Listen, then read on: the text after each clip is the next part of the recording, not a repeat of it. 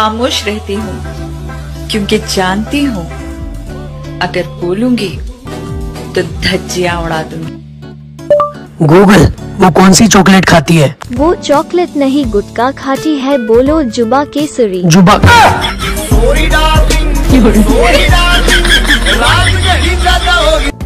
एक सेकंड तुम बार बार मुझे इस तरह से क्यों घूरती रहती हो? मैं मैं कहाँ घूर रही हूँ? तो फिर?